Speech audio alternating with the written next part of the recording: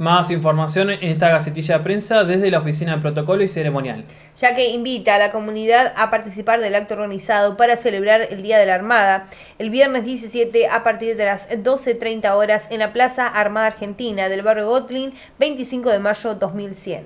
También se hace saber que en un primer momento y a través de las invitaciones se había anunciado la ceremonia a las 11, pero ahora volvemos a reiterar, el acto oficial será a las 12.30 del mediodía. Y ahora sí, continuamos observando la segunda parte de la nota del acto oficial por el Día de la Autonomía de Coronel Rosales. En su discurso, Bramulia no los consideró que estaban haciendo unas manifestaciones, malas manifestaciones, sino los consideró agentes civiles que estaban defendiendo sus derechos. Entonces dijo, entre todas las cosas, que en él tenían a un abogado que iba a defender sus fervientes deseos de autonomía, a tal punto que finaliza el discurso y les comunica a toda la gente reunida que Farrell y Perón habían firmado el decreto por el cual Punta Alta era autónoma.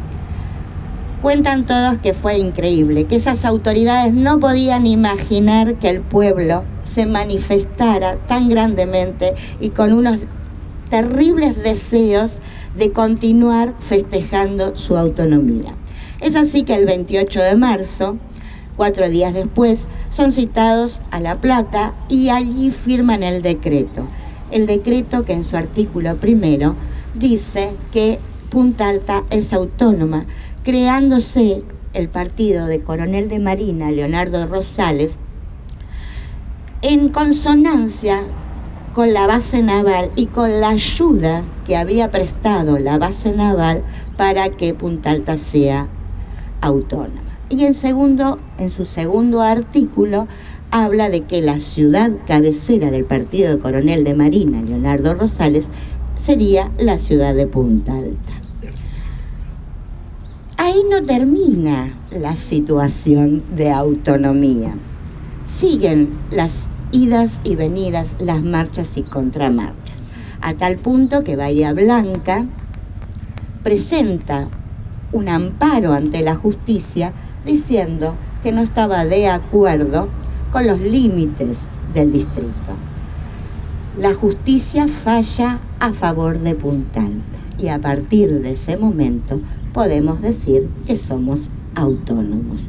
Y los días 12 de mayo festejamos nuestra querida autonomía, nuestro comienzo como ciudad y como distrito civilmente capaz, democráticamente armado para poder hacer frente a nuestros irreemplazables derechos de ciudadano. El primer comisionado fue el señor Jerique, muy importante, de muchísima actuación en lo que fue la Comisión Pro Autonomía. Pero yo quería decirles que autonomía lo define la Real Academia como los actos de gobierno propios que lleva a cabo un municipio o una provincia o los pueblos cuyas normas son independientes y se rigen a sí mismos.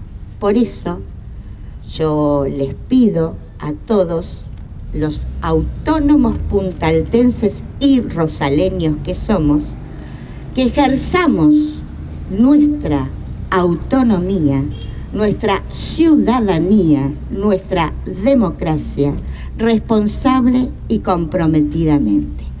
Muchísimas gracias, señor Intendente, por permitir expresarme en este día tan caro a los sentimientos de los rosaleños.